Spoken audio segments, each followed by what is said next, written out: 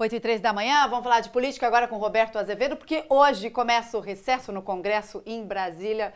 Roberto, mas essa figura aí, esse recesso tem que acabar, né? É, Sabine, seja ele branco, azul, amarelo, verde, pouco importa. Tem que acabar. Deputado federal, senador, deputado estadual e vereador tem que ter um mês de férias no máximo, como todo trabalhador. E deu.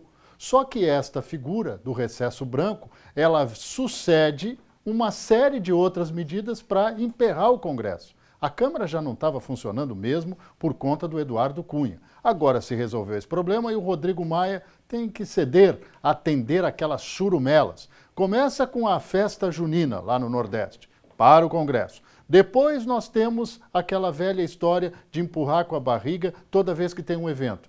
E agora a culpa é das Olimpíadas.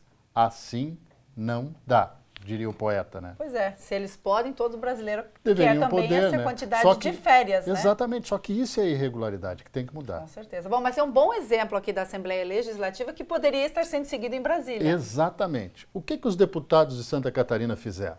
Como eles assumem que vão ter que ir para as bases, porque além de tudo isso que está acontecendo no país, cassação do Cunha, julgamento de impeachment de Dilma Rousseff e outras coisas mais, nós temos uma Olimpíada e temos uma eleição.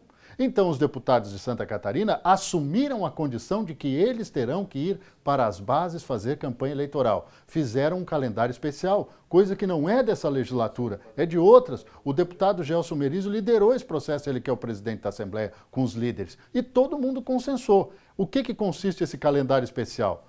Cada dia, cada semana, há um dia no trabalho do Legislativo Estadual de Santa Catarina que é dobrado.